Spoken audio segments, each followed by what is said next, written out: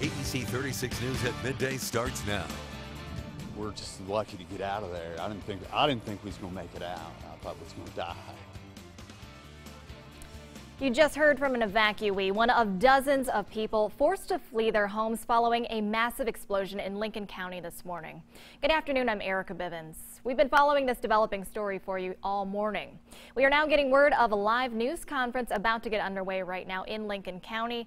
It looks like emergency officials are, be, are giving an update right now on that explosion. We'll let you listen in live. Scene. Uh, she has been taken to Frankfort to the state medical examiner's office for an autopsy. Uh, that should be going on uh, today, and we'll have some more information about her exact cause of death whenever that is completed. Uh, we have multiple agencies, local, state, and federal, uh, who have offered assistance that are at the scene, uh, trying to go through to figure out exactly what may have happened. As you can imagine, this is going to be a long investigation. there's going to be a lot of agencies that are going to conduct their own investigation and put those together at the end so that we can determine what happened. We do know that uh, residents from at least five homes, uh, five homes have been completely destroyed. The number may be a little bit higher than that, but from being at the scene, uh, the, the fire was so hot that even the gravel road or the, the, the asphalt road that circles the area uh, looks more like a gravel driveway. Uh, heat from it has melted uh, several parts on multiple cars. It's void of vegetation and grass. Some pictures have been taken and sent out earlier today. Uh, one of the stories that, that we have learned about was a Lincoln County deputy uh, who was one of the first people, if not the first, uh, law enforcement officer on scene uh, descri described pulling in toward the fire, feeling the heat from the fire come through his windshield, and he was uh, fortunately was able to locate and see an elderly gentleman walking with a cane and a flashlight uh, there near the fire. Uh, he got out of his vehicle, uh, loaded that individual up, and he said, We need to find my wife. And the deputy then took some additional time, located an elderly female, and took them from the scene. Uh, those two have been taken to the hospital with life with non-life-threatening injuries, uh, and also the deputy has been transported to the hospital uh, with non-life-threatening injuries. Without him being there at the right time, uh, you know, we could have had more fatalities and casualties than what we had. A meeting is going to be taking place at 5 p.m. today at New Hope Baptist Church, uh, just south of the scene, for people that live in the immediate area and that were directly impacted by this morning's fire and explosion. With that, I'd be happy to take a few questions um, and try to get you some more information. At this point, we believe that we have made contact with all of the families that live in the area. We don't believe that we have anybody else that is unaccounted for at this time. Um, after being at the scene, walking through, um, frankly, that is that is surprising. Um, the, the, houses that, that are there uh, are completely destroyed, and as you can imagine, at, at one o'clock in the morning, most people uh, are inside asleep, and so this could have been much, much worse. Uh, we believe that the female uh, that died as a result uh, of the incident that occurred today uh, may have seen or heard the fire or the explosion occur, uh, left her residence, at which time uh, we believe that the heat may have overtaken her and led to her death. But we still have a lot of things that we're trying to figure out as we move forward. Would the fact that you accounted for everybody at this point indicate that you don't believe We do not believe at this point that, that there are going to be any other fatalities. We believe that we have everybody accounted for. Obviously, we're going to continue to investigate and make sure that that is the case. Uh, but we've spoke with detectives. Uh, many of our detectives have spoke with all of the families that live there. It wasn't just a, hey, I think I talked to somebody today, uh, or, or, one of our detectives has actually been on the phone making calls, tracking down people to make sure that we believe that everybody has been accounted for. Describe this scene over here? I mean, kind of tell us what it looks like uh, and what caused that. Was it the blast? Was it the fire? Can you Right. You know, the, the scene the scene is, is, is rather large. I, I, there's a, a, house or a residence that's probably four or five hundred yards away uh, from where the initial explosion took place. That the siding is, is literally melted off of the, the, the, the residence. Um, the, the, the, area is void of trees, uh, grass. Uh, one of the, the people that were there in the scene earlier uh, described it as looking more like Mars. uh, than anything. It's just the red dirt is all that you can see, and gravel, rocks. That's that's all that's left in several areas. Uh, the very center uh, where the explosion occurred actually occurred near a railroad track. Which is why the railroad was shut down. I believe that it, it may have even melted part of the track. So that just goes into talking about how hot it really was. You're saying it melted the track, it melted the asphalt in that area. Yes, it, it was a, a, a large pipeline uh, that runs through the area that exploded, uh, caught fire, and we believe that uh, we've, we've heard reports that people could see um, the, the burn or the fire from as far as away as from Lexington. Uh, so it was something that, that caused, you know, quite a quite quite a, a visual um, thing going on this was morning. the explosion or the fire that caused this damage? You know, I, I believe that the fire continued for quite a while. Uh, we had video. I've seen video from the scene. Uh, that it's, it sounded like a jet engine that was taking off uh, as a result of the of the fire. Uh, the gas, as you can imagine, was continuing to flow uh, flow upward, um, and that's what, what sent that that fire uh, so high into the into the sky. Uh, trains, uh, last I heard, they, they thought that they're going to have the railroad tracks open very soon if they haven't already.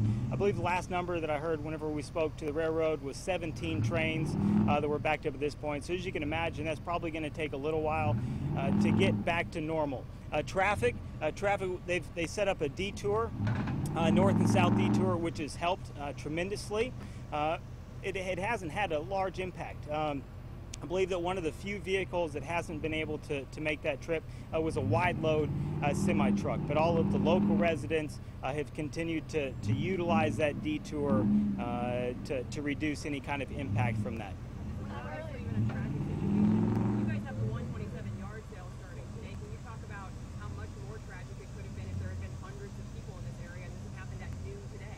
You know, the, the, the, area of the explosion is a, is a, a little ways off of 127. Um, you know, our, our, main thing whenever we got here today was to ensure other people's safety, everyone's safety in the area. Uh, since then, you know, obviously the, the gas has been shut off uh, to that to that gas pipeline. Uh, we have we do have a lot of people in the area, uh, and as, as always, the 127 yard sale it causes us some traffic issues as well. Uh, but first responders did a great job of setting up a, a very good detour and route to alleviate uh, any potential traffic congestion. When will residents be able to go back to their area? When, when what? Will residents be able to go back to their homes? Residents will uh, be able to uh, as we continue our investigation. Uh, right now, we have it shut down. Uh, we're, gonna, we're in the works of hopefully opening 127 soon. Uh, as soon as we can get all the first responder vehicles away from the scene, make sure that they're going to be safe, we'll open 127, which is going to allow some people to, to get back closer to home. Uh, as far as that neighborhood that was affected, uh, it may be some time before people are able to make it back into, into their residence. So you mentioned five homes destroyed. Were there others damaged? Uh, there, there were several homes that were damaged. Uh, most of them, though, are, are within a fairly close proximity to where this fire took place. Uh, we're not talking about something, we're talking about something that took up, uh, you know, 10, 15, 20 acres. You know, if, if it was within about four or 500 yards from where this initial fire took place, uh, you know, some of those homes have been impacted. Uh, I know one of the homes that I was, I was there was kind of remarkable. It, a, a trailer or a, a, residence that was completely destroyed. Uh, it was actually the, the residence where the two people uh, that were taken to the hospital with injuries, and they had a flagpole out in front and an American flag flying. And, uh, and many of us just made the comment, you know, how symbolic was that and just absolutely incredible. There were, um, you know, mailboxes and trash cans that were melted uh, really close to there, uh, but, the, but the flag, it was, it was still flying. John, a few questions for you, if you don't mind. Um, you, got, you had said earlier that there were two area pipelines that had been affected or should not have been affected. Has anyone been out there since to check um, and ensure that those are absolutely not affected? Uh, Enbridge has been on scene since this occurred. This is Jim McGuffey. He's with Enbridge. He may be able to address that better than I. Do you mind? Sorry, in front of the mic. Sorry, in front of the mic, sir. Tell them what, what's going on with the pipeline. Uh, we, after we got there this morning, we seen that the two pipelines had sufficient amount of cover, and that protects the heat. But also, we we have already reduced pressure on those two lines, and they're shut in. So yes, we think they are good, but we will inspect them. and see. Are there just two lines there, sir, or three? There's three lines there. Okay. A 30 and a 215? Uh, 230, 330s. 330s. Do you know how many miles of pipeline was impacted? Uh, we run from the East Coast to the Gulf Coast. How, how close are you guys to figuring out exactly what happened? Well, we hadn't even got started for any investigation yet. We're How- waiting. no The NTSB is from coming in. Huh? I'm sorry, no indications from outside what No. may have set this off. No, sir. How long do uh, these sorts of evaluations of the pipelines take? You never know. Uh, each situation's different. I mean, it could take a week. It could take three days. We don't know for sure. Uh, we have the NTSB coming in, Okay. PHMSA coming in, and then our engineers will be here looking. So that's what we'll be doing is NTSB and then That should be starting this afternoon or in the morning. You know anything, sir, about when the last in pipeline uh, inspection would have been? Y'all run pigs through there? Yeah, we run pigs through there. I don't know. I hadn't looked this line up yet, but it's probably been about probably four years. Been four years since you ran a pig through there? Yes, sir. Maybe it might be sooner than that. I'm just guessing. How Any deep is the pipeline? Uh, most of our pipelines are five foot deep, four foot deep. Sometimes deeper, sometimes shallow. Any livestock pets lost? Any livestock or pets lost? Uh, I'm not Uh, sure. I believe there were some pets uh, that there were there were lost as a result of the fire. Um, as you can imagine, right now, you know, our main concern was to make sure that uh, most of the people got out. Uh, however, we believe that uh, some some animals were outside, maybe there, some that were inside the house. Uh, so yeah, we believe that uh, some some family pets uh, may have been lost as a result Folks as well. down there, they, they, they family, are they neighbors, friends? How would you describe the, the neighborhood down there with the people? Uh, I mean, it's a, it's a it's a, uh residential area. The homes aren't necessarily right next to each other. Um, you know, they're, they're they're set apart quite a ways. Uh, I mean, had had the homes been much closer together, uh, this could have been potentially much much worse. Um, and so we're, we're we're thankful that that not that many people, uh, you know, were necessarily there, uh, and that at this point, you know, obviously the the one uh, fatality uh, is absolutely heartbreaking. Um, but but it, it we, we're thankful that, that you know we were able to contact the other families and make sure that, that other people were able to get outside. Can you tell us, sir, the, the lady that died, how far she was from this point the, where the I, I don't I don't have her her exact uh, location. Uh, I mean she was she was one of the closer residences. Uh, you know the the, the investigation kind of looks like she may have seen it, uh, heard what was going on, tried to leave. Uh, but as you can imagine, just based upon the deputy's statement about how hot it was, um, the, the heat could very easily uh, overtake somebody. Was she found outside the home or inside one of the homes? I, I, I, I'm still trying to figure out exactly where she was located. I, I believe that she was outside of one of the homes. Uh, she may have been trying to trying to get to a neighbor's house. Um, you know, there, there's going to be a lot of things that we're going to be looking at. You know, the Kentucky State Police we're, we're continuing our death investigation uh, into the cause of death and what may have happened uh, involving and surrounding her death. Trooper Purdy. there by did That that that that I, I don't know who else may have been there. Trooper Purdy, you said that there were a number of homes destroyed. So were there people inside those homes when this happened and they survived? I believe that uh, people were inside uh, and able to leave. Um, you know, multiple. As you can imagine, there was there was the initial explosion, the heat, uh, but as a result, the fire continued to spread. Uh, close to the scene, uh, there's there's basically no grass, no trees, uh, dirt and rocks is about it. Uh, as you start moving out, you can see where the grass was burning. So the fire departments this morning uh, did a great job of getting here, arriving at the scene. Um, trying to minimize and mitigate any kind of damage that, that was going to occur. Um, and it's kind of things that unfortunately, you know, we hope never happens. Uh, but we know that the people are training for on a, on a weekly and daily basis. But again, even though those homes were destroyed, they survived because Yes. they were inside. We believe that uh, they were inside. Uh, they left um, probably when they saw the fire, uh, and people started evacuating the area. Um, another question for Everett. Do we know the, the date of that last inspection, did you say? No, I don't know right off hand, offhand, okay, okay. but I'll try to get it for you. Okay, yeah, if we could get the details of Yeah, this afternoon at five, or whenever our next. We'll get those details at last inspection. Yes. Okay, um, and then another nu- numbers question for you, if you do or don't know. Do we know the exact number of structures, impacted, I guess, lack of a better word, melted, burned? You know, I don't have an exact number. Um, best count, you know, we're probably looking at five or six that are completely gone. And that's just homes? just Any homes. types of There, structures? there are there are outbuildings, there are garages, um, multiple vehicles, and then as you start moving away, there are homes that have been impacted, um, maybe not destroyed but damaged. Okay, do we know the number of miles away that people could see these flames? Uh, you know, if people said that they could see flames, I believe I've heard from from Lexington, Uh, so we're looking at probably, you know, 30, 40 miles away. Can you tell us the name of the woman? Uh, I don't have her name at this time. Uh, we'll be releasing that if it hasn't been done done already by the coroner's office. Um, if that has not been done, we'll, we will get that out uh, very soon.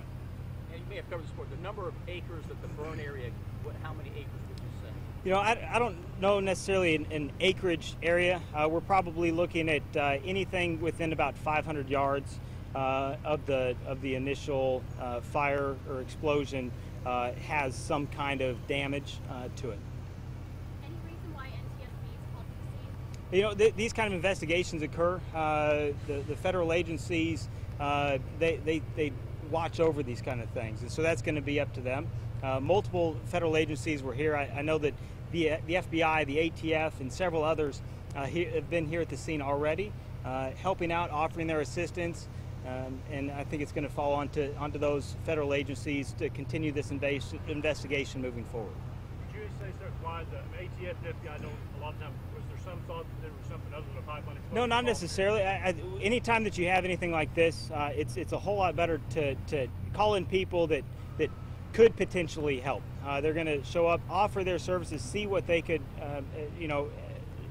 It wasn't because help with. some concern about anything other than a pipeline. No, I, I don't think that you know I, the ATF they showed because you know they deal with explosives, um, and so I spoke with one of the ATF agents earlier, and he said I. I do bombs. This isn't necessarily, but I wanted to come and see what you could help. The FBI help. They help with victims, um, and so there's a lot of resources that are out there uh, that we're going to try to utilize moving forward. As you can imagine, NTSB would normally, they'll be the lead, I guess, at some point. correct. Anything else? Well, as the information becomes uh, more available, I will be sure to let you know. Thank you for coming. Uh, thank you for being a part of this. Before you leave, can the people who spoke say and spell their names so we get it right? Yeah, uh, so I'm Trooper Robert Purdy, R O B E R T P U R D Y. Uh, Jim McGuffey. M C G U F F E Y. We know what time we might get another update? You know, I, I- don't want to set anything uh, in stone as far as when. Uh, I think that the rest of the, the day, uh, as information becomes available, All right, you just heard from emergency officials on the very latest out there in Lincoln County. Trooper Purdy with Kentucky State Police saying everyone has now been accounted for, which is some great news to hear. Now, he did mention one fatality. The Lincoln County Coroner's Office has identified the person killed in that explosion as 58-year-old Lisa Denise Derringer of Stanford. We'll keep you updated with the very latest on air and also online at WTVQ.com.